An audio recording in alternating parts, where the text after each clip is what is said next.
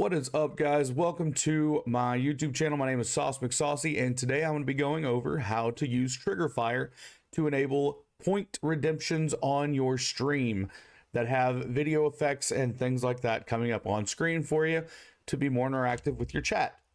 So, the first thing we're going to need to do is we're going to go over to TriggerFyre and we are going to take a look at that Alrighty, once you get to your TriggerFyre, it'll look something like this. You'll need to log in, link your Twitch or your YouTube or whatever you're using up to it.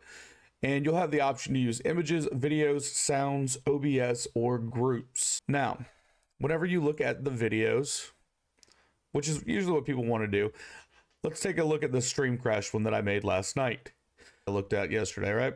So you have your video here. You can go ahead and select a video I have a few that are uploaded already. But if you wanted to upload, you just hit upload, select your file, and do it that way, making it a lot easier, right? So I already have my video in here, so I can go ahead and exit out of that. But this is what I wanted to appear on the screen. Have like a nice little stream crash. Now, what you have to do you have to make sure that your web re- your point redemption is titled the exact same thing that you have here. So I have it labeled as stream crash right here. And if we go over to my stream manager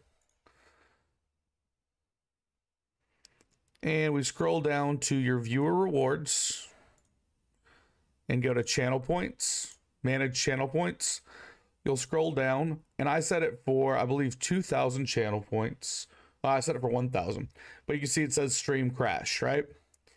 Now, my recommendation on this is to put a limit to how much can be used. You have cooldowns on it. Like it can only be used once per minute on my stream because I don't want it spammed repeatedly over and over and over and over. I'm actually going to also put a limit in redemptions per user later. But for this purpose, I'm not going to put that on there first because I want to be able to show you guys how to use it.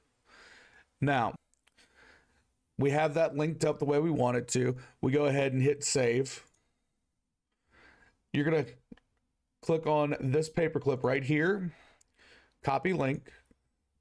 You're going to go to your OBS. You're going to create a scene. The scene I'm, as you can see, this is my just chatting scene for my stream. But if you scroll down here on the side, you're going to see that I have TriggerFyre listed as a scene that I've inserted inside. And to do that, all you do is you hit the plus arrow on your sources and you go ahead and click scene and you scroll down to TriggerFyre and put that scene inside of this. You're going to want this scene in every one of them that you're trying to use. That way, whenever you have someone that redeems something, you scroll down on your point redemption we go to where it said 1000 stream crashed, and I want to redeem that.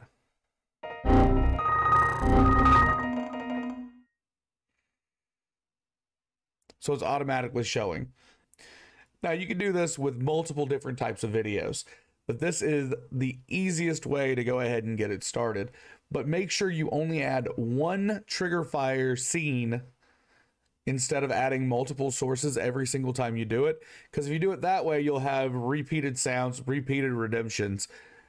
I did that the first time, and that was definitely detrimental to what I was trying to do. Um, if you guys have any questions about how to do this, feel free to leave them in the comment section below. I will link TriggerFyre in there and I would be glad to uh, show you guys how to do everything. I'm also going to leave an invite link for the Discord that they have set up for TriggerFyre. If you guys made it this far, thank you so much for watching. I am a streamer over on Twitch, Twitch TV slash Sauce McSaucey. I stream Monday through Friday from 2 until about 5 p.m. Eastern Standard Time. I look forward to seeing you guys there, and y'all have a fantastic day.